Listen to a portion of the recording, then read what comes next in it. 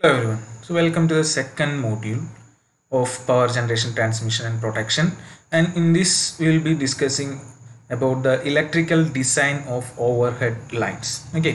So overhead main ഇതിൽ മെയിനായിട്ട് പറയാൻ പോകുന്നത് നമ്മൾ ഓൾറെഡി പറഞ്ഞിട്ടുണ്ടായിരുന്നു transmission of electric power is mainly done using three phase three wire system so three phase three wire വെച്ചിട്ടാണ് overhead ലൈനിൽ കൂടെ ഉള്ള ട്രാൻസ്മിഷൻ main മെയിനായിട്ട് ഓക്കെ ഒരു എ സി ട്രാൻസ്മിഷൻ ലൈൻ എടുക്കുകയാണെങ്കിൽ നമുക്ക് അതിൽ റെസിസ്റ്റൻസും ഇൻഡക്റ്റൻസും കപ്പാസിറ്റൻസും അതിൽ ഉണ്ടാവാം. വിച്ച് ഈസ് ഡിസ്ട്രിബ്യൂട്ടഡ് ഈ റെസിസ്റ്റൻസ് ഇൻഡക്റ്റൻസ് കപ്പാസിറ്റൻസ് ഉണ്ടാവാം. ഇത് തന്നെ അതിൽ ഡിസ്ട്രിബ്യൂട്ടഡ് അലോങ് ദ ലെങ്ത് എന്ന് വേണമെങ്കിൽ നമുക്ക് പറയാം. ഓക്കെ ഇപ്പോൾ ഈ പാരാമീറ്റേഴ്സും ഒക്കെ എന്തായിരിക്കും എങ്ങനെയായിരിക്കും അത് കാൽക്കുലേറ്റ് ചെയ്യുക എന്നുള്ള കാര്യങ്ങളൊക്കെയാണ് നമ്മൾ ഇതിൽ പറയുന്നത്.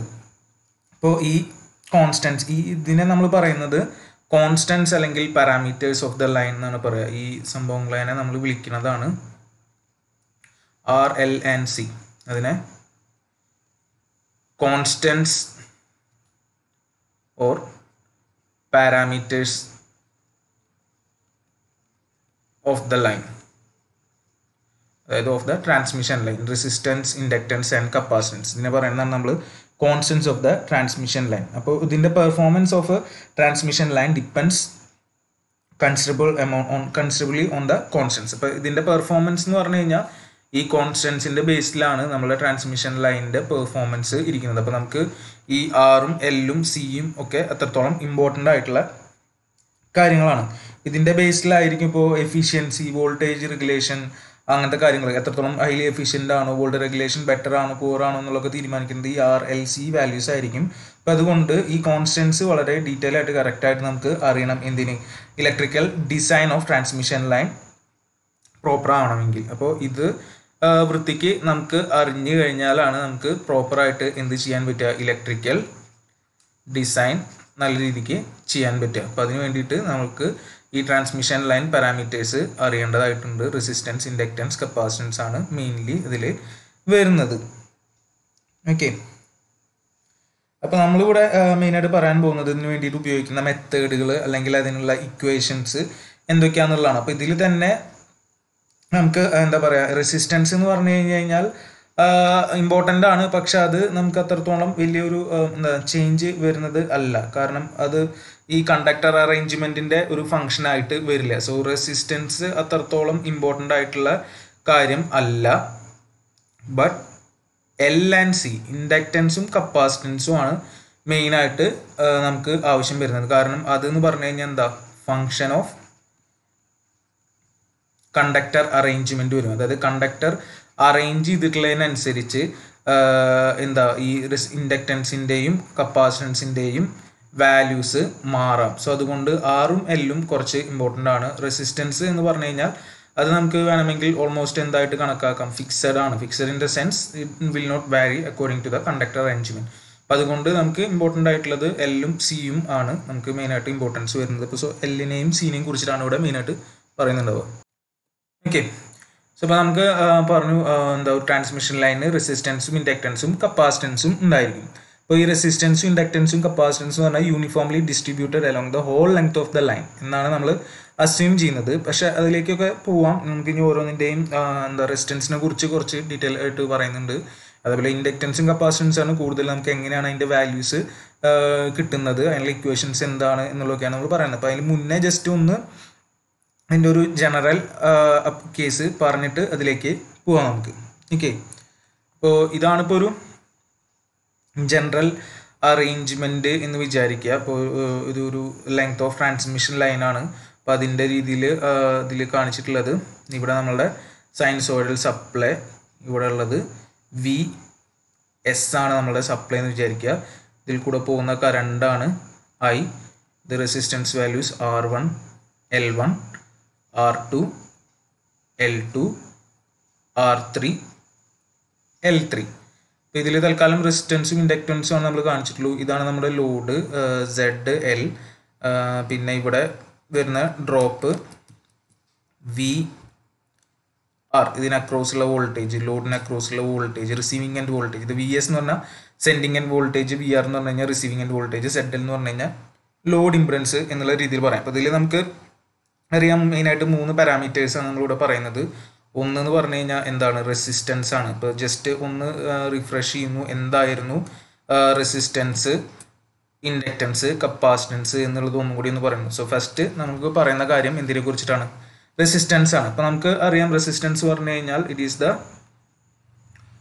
ഒപ്പോസിഷൻ ആണ്. Opposition to the flow of current opposition to the flow of current ആണ് നമ്മൾ എന്തെന്ന് പറയുന്നത്? റെസിസ്റ്റൻസ് എന്ന് പറയുന്നത്. നമുക്കറിയാം ഇവിടെ എന്തായാലും ട്രാൻസ്മിഷൻ ലൈനിൽ കൂടെ കറണ്ട് പാസ് ചെയ്യുന്നുണ്ട്. സോ അപ്പോൾ ത്രൂ ഔട്ട് അതിന്റെ ലെങ്ത്തിൽ എന്തുണ്ടായിരിക്കും? ഒപ്പോസിഷൻ ഉണ്ടായിരിക്കും. അതായത് ലെങ്ത്തിൽ മൊത്തം എന്തുണ്ടാവും? റെസിസ്റ്റൻസ് ഉണ്ടാവും. So the resistance is assume to be distributed uniformly distributed along the whole length of the line എന്നാണ് നമ്മൾ അസ്യൂം ചെയ്യുന്നത്. അപ്പോൾ ഇതൊരു പർട്ടിക്കുലർ കേസിൽ ഇങ്ങനെ കാണിച്ചിരുന്നത് R one R two R three എന്നുള്ള രീതിയിൽ ഇങ്ങനെ ഡിസ്ട്രിബ്യൂട്ട് ചെയ്ത് കെടുക്കുന്നു എന്നുള്ള രീതിയിലാണ് കാണിച്ചിട്ടുള്ളത്. പക്ഷെ നമ്മളതൊരു എന്താ പറയുക ഇപ്പം ഇങ്ങനെ കാണിച്ചു കഴിഞ്ഞാലും അപ്രോക്സിമേറ്റ് ചെയ്തിട്ടാണ് നമ്മൾ എന്തെടുക്കുന്നത്. അനാലിസിസിലേക്ക് നമ്മൾ എടുക്കുമ്പോൾ ആക്ച്വൽ കേസിൽ ഇത് ഇപ്പം എന്താ നമ്മൾ പറഞ്ഞു? യൂണിഫോംലി ഡിസ്ട്രിബ്യൂട്ടഡ് ആണ്. പക്ഷേ എന്നാൽ നമ്മൾ അനാലിസിസിലേക്ക് വരുമ്പോൾ അതിനെ എന്ത് ചെയ്യും? ഡംപ്ഡ് ആയിട്ടാണ് എടുക്കുന്നത്. അല്ല സോറി ലംബ്ഡ് ആയിട്ടാണ് ലംബ്ഡ് അപ്രോക്സിമേഷൻ ആണ് ഇതിന്റെ എടുക്കുന്നത്. അതായത് ഒരു പെർട്ടിക്കുലർ പോയിന്റിലേക്ക് നമ്മൾ അപ്രോക്സിമേറ്റ് ചെയ്തെടുക്കുകയാണ് ചെയ്യുന്നത്. ഓക്കെ അപ്പോൾ അതും കൂടി ഞാൻ അപ്പോൾ ഈ ഇതിനെ നമുക്കൊന്ന് മാറ്റി വരയ്ക്കാം. ലംഡായിട്ട് വരയ്ക്കാം. അപ്പോൾ അത് ജസ്റ്റ് ഒന്ന് ഞാൻ തൽക്കാലം ലംബിയ എന്ന് പറഞ്ഞു കഴിഞ്ഞാൽ അപ്പോൾ ഇൻഡക്ടറാണ് അടുത്ത് പറയാൻ ഉദ്ദേശിക്കുന്നത്. ആ കേസിലും നമ്മൾ എങ്ങനെ തന്നെയാണ് ചെയ്യാൻ ഉദ്ദേശിക്കുന്നത്? ഇതേപോലെ ലംബ്ഡ് എന്നുള്ള അസംഷനിൽ തന്നെയാണ് നമ്മൾ അതും എടുക്കാൻ പോകുന്നത്. അപ്പോൾ ഇതിൽ ഈ ആർ എന്നുള്ളത് മൊത്തം റെസിസ്റ്റൻസിനെയും ഈ ഒരു ഇൻഡക്ടർ മൊത്തം ഇൻഡക്റ്റൻസിനെയും കാണിക്കും. പിന്നെ നമ്മൾ ആ സർക്യൂട്ടിലുള്ള ബാക്കി നമ്മളുടെ എന്താ ഇമ്പിഡൻസ്. മൊത്തം റെസിസ്റ്റൻസിന് പകരം ഒരു റെസിസ്റ്റൻസ് വെച്ചിട്ട് റീപ്ലേസ് ചെയ്യാണ്.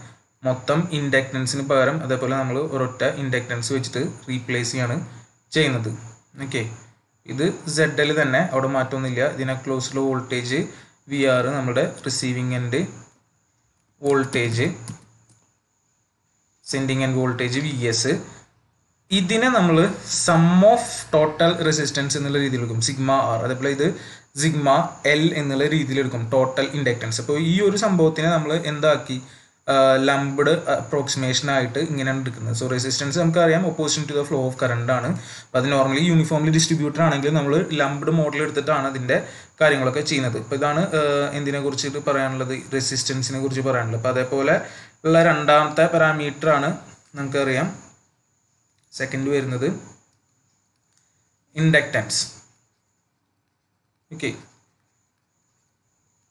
അപ്പോൾ ഇൻഡക്റ്റൻസ് എന്ന് പറഞ്ഞു കഴിഞ്ഞാൽ ഇവിടെ നമുക്കറിയാം ആൾട്ടർനേറ്റിംഗ് കറണ്ട് ആണ് ഇതിൽ കൂടെ ഫ്ലോ ചെയ്യുന്നത്. സപ്ലൈ ആൾട്ടർനേറ്റിംഗ് ആണ്. ആ ആൾട്ടർനേറ്റിംഗ് കറണ്ട് ആണ് നമ്മുടെ ട്രാൻസ്മിഷൻ ലൈൻ കൂടെ കയറി ഇവിടെ ലോഡിൽ വന്ന് റിട്ടേൺ പാത്തിൽ കൂടെ തിരിച്ചു പോകുന്നത്. ഇപ്പോൾ നമ്മളൊരു ഒരു ഫേസ് എന്നുള്ള രീതിയിലാണ് ഇപ്പോൾ അവിടെ പറയുന്നത്. തൽക്കാലം ഇപ്പോൾ ഒരു എന്താ പാത്ത് ഒരു ക്ലോസ്ഡ് ലൂപ്പ് എന്നുള്ള രീതിയിലാണ് കാണിച്ചിട്ടുള്ളത്. അപ്പോൾ നമുക്കറിയാം ആൾട്ടർനേറ്റിംഗ് കറണ്ട് പാസ് ചെയ്യുമ്പോൾ എന്തായാലും അവിടെ എന്തുണ്ടാവും? ഒരു ചേഞ്ചിങ് ഫ്ലക്സ് അവിടെ ക്രിയേറ്റ് ചെയ്യും. എ സി ആണ് പോകുന്നത്. അപ്പോൾ എ സിയിൽ നമുക്കറിയാം എന്താ? ചേഞ്ചിങ് ഫ്ലക്സ് എന്ന് പറഞ്ഞിട്ടുള്ള ഒരു സംഭവം എന്തായാലും എന്തിലുണ്ട് എ സിയിൽ ഉണ്ടായിരിക്കും. അപ്പോൾ അത് എന്തിനായിട്ട് ലിങ്ക് ചെയ്യും? ആ കണ്ടക്ടറിനായിട്ട് ലിങ്ക് ചെയ്യും. അപ്പോൾ ഈ കണ്ട അപ്പോൾ ഫ്ലക്സ് ചേഞ്ച് ഇൻ ഫ്ലക്സ് വരുമ്പോൾ അവിടെ എന്തായാലും എന്തുണ്ടാവും? ഒരു ഫ്ലക്സ് ലിങ്കേജ് ഉണ്ടാവും എന്തിനായിട്ട്? കണ്ടക്ടറിനായിട്ട് സോ ഈ ഫ്ലക്സ് ലിങ്കേജ് കാരണം എന്ത് സംഭവിക്കും? മറ്റേ കണ്ടക്ടറിൽ ഇൻഡക്റ്റൻസ് ഉണ്ടാവും. ഈ ഫ്ലക്സ് ലിങ്കേജ് വന്നു കഴിഞ്ഞാൽ ഇൻഡക്റ്റൻസ് വരും എന്ന് നമുക്കറിയാം. ഇൻഡക്റ്റൻസ് എന്ന് പറഞ്ഞാൽ എന്തായിരുന്നു? ഇൻഡക്റ്റൻസ് എന്ന് പറഞ്ഞു കഴിഞ്ഞാൽ ഒപ്പോസിഷൻ തന്നെയാണ്. എന്തിനുള്ള ഒപ്പോസിഷനാണ് ശരിക്കും ഇൻഡക്റ്റൻസ് പറഞ്ഞു കഴിഞ്ഞാൽ opposition to change in flux ഫ്ലക്സിലുള്ള ചേഞ്ചിനെ ഒപ്പോസ് ചെയ്യുന്നതിനാണ് ഇൻഡക്റ്റൻസ് പറയുക. ശരിക്കും ഫ്ലക്സിലുള്ള ചേഞ്ച് വരുന്നത് എന്താ കറണ്ടിലുള്ള ചേഞ്ച് കാരണമാണ് വരുന്നത്. അപ്പോൾ ചേഞ്ച് ഇൻ ഫ്ലക്സിനെ കറണ്ടിനെ ഒപ്പോസ് ചെയ്യുന്നതാണ് resistance so change in flux അല്ലെങ്കിൽ ചേഞ്ച് ഇൻ കറണ്ടിനെ ഒപ്പോസ് ചെയ്യുന്നതാണ് ഇൻഡക്റ്റൻസ് എന്ന് പറഞ്ഞ് വരുന്നത്. അപ്പോൾ നമുക്കറിയാം ഇൻഡക്റ്റൻസിന്റെ equation പഠിച്ചിട്ടുണ്ടാവും. L is equal to psi by I ആണ്. Inductance L equal to psi by I where psi എന്ന് പറഞ്ഞു കഴിഞ്ഞാൽ ഫ്ലക്സ് ലിങ്കേജ് ആണ്. സൈ അറിയാം നമുക്ക്. എന്താ? ഫ്ലക്സ് ഫൈ എന്നുള്ള രീതിയിൽ. സോ ഫ്ലക്സ് ലിങ്കേജ് ആണ്. ഫ്ലക്സ് ലിങ്കേജ് നമ്മൾ യൂണിറ്റ് പറയാം. വെബർ ടേൺസ് വെബർ ടേൺസ് ആണ് അതേപോലെ ഐ എന്ന് പറഞ്ഞു കഴിഞ്ഞാൽ കറണ്ടാണ് ആംബിയേഴ്സിലുള്ള കറണ്ടാണ് ഓക്കെ ഇതാണ് നമ്മുടെ ഇൻഡക്റ്റൻസ് ഇപ്പം ഈ ഇൻഡക്റ്റൻസും എന്താ യൂണിഫോംലി ഡിസ്ട്രിബ്യൂട്ടഡ് അല്ലെങ്കിൽ ലെങ്ത് ആണ്. പക്ഷേ അതിന് നമ്മൾ എന്തായിട്ട് തന്നെയാണ് ലംബ്ഡ് ആയിട്ട് തന്നെയാണ് എടുക്കുന്നത്. ഓക്കെ ഇവിടെ തൽക്കാലം നമ്മൾ ഒരു ലൂപ്പാണ് കാണിച്ചിട്ടുള്ളത് ഞാൻ പറഞ്ഞു. അപ്പോൾ ആ രീതിയിലാണ് ഇൻഡക്റ്റൻസും അവിടെ നമ്മൾ പറയുന്നത്. ഇനി ഇതേപോലെ ഇതിൽ ഒരെണ്ണം കൂടിയും ഉണ്ട്. അതാണ് എന്ത് ലാസ്റ്റത്തെ പാരാമീറ്റർ നമ്മളുടെ തേർഡ് പാരാമീറ്റർ ആണ് കപ്പാസിറ്റൻസ് ഓക്കെ സോ കപ്പാസിറ്റൻസും കൂടി ഇതിൽ വരുന്നുണ്ട്. ഇപ്പം നമ്മൾ നേരത്തെ വരച്ചിട്ടുള്ള ലൈനിൽ ആ ഫിഗറിൽ എന്ത് മാത്രമേ ഉണ്ടായിരുന്നുള്ളൂ? റെസിസ്റ്ററും ഇൻഡക്ടറും എന്നുള്ള രീതിയിലാണ് കാണിച്ചിട്ട് അപ്പോൾ നമുക്ക് അറിയാം രണ്ട് പാരലൽ ഇത് റൺ ചെയ്യുകയാണെങ്കിൽ അതിലെന്തായാലും ഇപ്പോൾ പാരലായിട്ട് രണ്ട് ലൈൻസ് പോവുകയാണെങ്കിൽ ഇതിന്റെ ഇടയിൽ എന്ത് വരുന്നുണ്ട്? ഇൻസുലേറ്റിംഗ് മീഡിയം ആയിട്ട് ഇപ്പോൾ ഇതിന്റെ ഇടയിൽ ഏതാണ് എയർ ആണ് ഇവിടുത്തെ മീഡിയം ഉണ്ടായിരിക്കുക. ഇത് നമ്മുടെ കണ്ടക്ടർ വണ്ണും ഇത് കണ്ടക്ടർ ടു ആണ്. അപ്പോൾ ഇതിന്റെ ഇടയിൽ എന്തായാലും ഒരു ഇൻസുലേറ്റിംഗ് മീഡിയം രണ്ട് കണ്ടക്ടേഴ്സും വന്നു കഴിഞ്ഞാൽ നമുക്കത് എന്ത് ഫോം ചെയ്യുന്ന അറിയാം. ഒരു കപ്പാസിറ്റർ ആയിട്ട് ഫോം ചെയ്യുന്നുള്ളത് അറിയാം. ഓക്കെ ഇപ്പോൾ ഓവർ ഹെഡ് ട്രാൻസ്മിഷൻ ലൈനിലെ രണ്ട് കണ്ടക്ടേഴ്സ് എന്തായാലും മിനിമം രണ്ട് കണ്ടക്ടേഴ്സ് ഉണ്ടാവും. അപ്പോൾ അത് എയർ വെച്ചിട്ടാണ് ഇൻസുലേറ്റർ ആയിട്ട് ആക്ട് ചെയ്യുന്നത്. അപ്പോൾ ഇതിന്റെ ഇടയിൽ ഒരു കപ്പാസിറ്റൻസ് ഉണ്ടാവും. അപ്പോൾ ഇതിനെയാണ് നമ്മൾ ഓവർ ഹെഡ് കപ്പാസിറ്റൻസ് എന്നുള്ള രീതിയിൽ പറയുന്നത് കപ്പാസിറ്റൻസ് നമുക്ക് ഇവിടെ ഇതിന്റെ ഇടയിൽ നമുക്ക് കാണിക്കാവുന്നതാണ്. ഓക്കെ ഇതിങ്ങനെ ത്രൂ ഔട്ട് ഇതിന്റെ ലെങ്ത് നമുക്ക് എന്ത് കാണിക്കാം? കപ്പാസിറ്ററുകൾ ഉള്ള രീതിയിൽ ഇങ്ങനെ നമുക്ക് കാണിക്കാം. ഓക്കെ ഇതിങ്ങനെ എന്താ പറയുക കണ്ടിന്യൂ ചെയ്ത് പോകുന്നുണ്ടായിരിക്കും. പി ഇതാണ് ഇവിടുത്തെ കപ്പാസിറ്റൻസ് എന്നുള്ള രീതിയിൽ പറയുന്നത്. അപ്പോൾ നമുക്ക് കപ്പാസിറ്റൻസിന്റെ ഇക്വേഷൻ അറിയാം. C is equal to capacitance C is equal to എന്തായിരുന്നു? ക്യൂ ബൈ വി ആണ്. ക്യൂ ബൈ വി ഫാരഡ് ഇത് നമുക്കറിയാം ഇൻഡക്റ്റൻസ് ഹെൻറി ആണ്. കപ്പാസിറ്റൻസിന്റെ യൂണിറ്റ് ഫാരഡ് ആണ്. ഓക്കെ ഈ ഇതിൽ ക്യൂ എന്ന് പറഞ്ഞു കഴിഞ്ഞാൽ നമുക്കറിയാം. ക്യൂ അറിയുന്നതാണ്. ക്യൂ എന്ന് പറഞ്ഞു കഴിഞ്ഞാൽ എന്താകും ചാർജാണ് ചാർജിൻ കുളൂമ്പാണ്. അതേപോലെ വി എന്ന് പറഞ്ഞു കഴിഞ്ഞാൽ പൊട്ടൻഷ്യൽ ഡിഫറൻസ് ആണ് ബിറ്റ്വീൻ കണ്ടക്ടേഴ്സ് അത് വോൾട്ടിലാണ് ഓക്കെ അപ്പോൾ കപ്പാസിറ്റൻസും ഇവിടെ uniformly distributed along the length of the line തന്നെയാണ്. അപ്പോൾ നമുക്ക് അവിടെ uniform series of capacitors connected between the conductors എന്ന രീതിയിൽ പറയാം. അപ്പോൾ ആൾട്ടർനേറ്റിംഗ് വോൾട്ടേജ് ഈസ് ഒരു ട്രാൻസ്മിഷൻ ലൈനിൽ കൊടുക്കുകയാണെങ്കിൽ നമുക്കറിയാം the charge on the conductors at any point increases and decreases with the increase and decrease of instantaneous value of voltage നമുക്കറിയാം instantaneous value of voltage ഇങ്ങനെ മാറിക്കൊണ്ടിരിക്കുകയാണ്. അപ്പോൾ അതിനനുസരിച്ച് എന്തും ചേഞ്ച് വരും. ചാർജ് ചേഞ്ച് വരാം. ഓക്കെ ഇപ്പോൾ ഈ കപ്പാസിറ്റൻസ് പറഞ്ഞു കഴിഞ്ഞാൽ ശരിക്ക് ഒപ്പോസിഷൻ തന്നെയാണ് ചെയ്യുന്നത്. അത് ഒപ്പോസ് ചെയ്യുന്നത് എന്തിനാണ് change in വോൾട്ടേജിനെയാണ് opposition to change in voltage ആണ് ഇയാൾ ശരിക്കും പറഞ്ഞു കഴിഞ്ഞാൽ ഒപ്പോസ് ചെയ്യുന്നത്. അപ്പോൾ ഇതാണ് മൂന്ന് മെയിൻ ആയിട്ടുള്ള പാരാമീറ്ററുകൾ നമ്മുടെ ഇവിടെ വരുന്നത്. അപ്പോൾ ഇതിൽ എന്താ നമ്മൾ പറഞ്ഞു ആൾട്ടർനേറ്റിംഗ് ആയതുകൊണ്ട് ഈ ഒരു ഇത് വരാം. അപ്പോൾ ഇതിൽ നമുക്ക് എന്താ കറണ്ട് കണ്ടക്ടറിൽ കൂടെ ഫ്ലോ ചെയ്യും. ഇപ്പോൾ ഈ charging current flows in the line even when it is open circuited supplying no load ഇപ്പോൾ ഈ മൊത്തം സിസ്റ്റത്തിനെയും നമുക്ക് എന്ത് രീതിയിൽ തന്നെ കാണിക്കാം? ലംബ്ഡ് എന്നുള്ള രീതിയിൽ വേണമെങ്കിൽ ഒറ്റ കപ്പാസിറ്റർ വെച്ചിട്ട് ഇതിനെ നമുക്ക് റീപ്ലേസ് ചെയ്യാം. അതാണ് നമ്മൾ ഇതിന്റെയും അനാലിസിസിൽ ഉപയോഗിക്കുന്നുണ്ടാവുക. അപ്പോൾ മറ്റോടത്ത് റെസിസ്റ്ററും ഇൻഡക്ടറും ഒക്കെ പറഞ്ഞ പോലെ തന്നെ ഇവിടെ ഇതിനെ നമുക്ക് സി എന്ന് പറഞ്ഞിട്ടുള്ള ഒരു കപ്പാസിറ്റർ അതിലേക്ക് കറണ്ട് ഐ സി അതാണ് ഇവിടുത്തെ ചാർജിങ് കറണ്ട്. ഇവിടെ നമ്മൾ സപ്ലൈ വോൾട്ടേജ് ആണ് വി എസ് എന്നുള്ള രീതിയിൽ കാണിക്കാം അപ്പോൾ ഇങ്ങനത്തെ രീതിയിൽ നമുക്ക് റെപ്രസെന്റ് ചെയ്യാം എന്നാണ് പറയുന്നത്. അപ്പോൾ ഈ കറണ്ടിനെയാണ് ചാർജിങ് കറണ്ട് എന്ന് പറയുന്നത്. ഓക്കെ ഈ കണ്ടക്ടറിലേക്ക് ഇടയിൽ ഫ്ലോ ചെയ്യുന്നത്.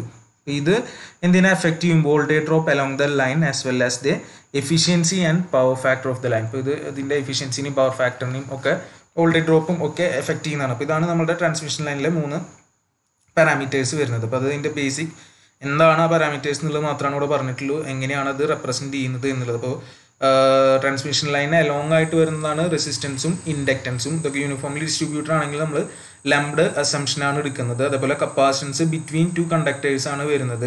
അപ്പോൾ അതും ഇങ്ങനെ സീരീസ് കപ്പാ സീരീസ് ഓഫ് കപ്പാസിറ്റൻസ് എന്നുള്ള രീതിയിൽ വരുന്നു. അതിനെ നമ്മൾ ഒരെണ്ണമായിട്ട് അപ്രോക്സിമേറ്റ് ചെയ്തിട്ടാണ് എടുക്കുന്നതെന്ന് പറഞ്ഞു. ഓക്കെ ഇപ്പോൾ ഇതാണ് ഇതിലെ മെയിൻ ആയിട്ട് വരുന്നത്. അപ്പോൾ ഇതിൽ ഇനി ഓരോ കേസുകളാണ് നമ്മൾ പറയുന്നത്. അപ്പോൾ ആദ്യം ജസ്റ്റ് റെസിസ്റ്റൻസ് അതിലൊരു സ്കിൻ എഫക്റ്റ് എന്താണെന്നുള്ളതാണ് അടുത്തതിൽ പറയുന്നത്. അതിനുശേഷം ഫ്ലക്സ് ലിങ്കേജ് അതുവഴി ഇൻഡക്റ്റൻസിന്റെ ഡെറിവേഷൻസ് ഇക്വേഷൻസ് ആണ്. പിന്നെ കപ്പാസിറ്റൻസിന്റെ കേസുകളാണ് ഇതിൽ പറയുന്നത്. ഓക്കെ